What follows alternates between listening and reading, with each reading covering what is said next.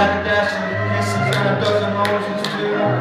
Then let it rise for a hundred years or two. And that's the recipe for making love.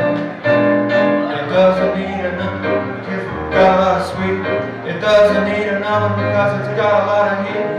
Just add a dash of kisses to make it all complete. And that's the recipe for making love. And if you made it right, you'll know it.